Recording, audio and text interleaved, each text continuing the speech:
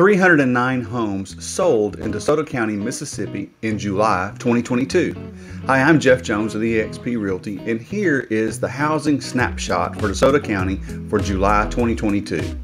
Yes, 309 homes sold. That's down 13% from June and down 12.2% from July of 2021. We currently have 1.4 months of inventory on the market, meaning if every house sold with no new houses coming on the market, it would take one one and a half months almost to sell all the homes that we currently have listed. In June, that was 1.07, and last July, it was just three quarters of a month. Three weeks, that's all we had.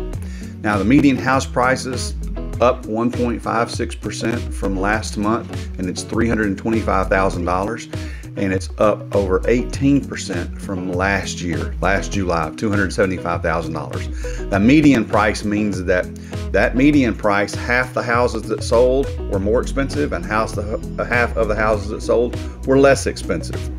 Now, how long are houses staying on the market? They're staying on the market a little bit longer now. It's 15 days as opposed to 11 days last month or last July.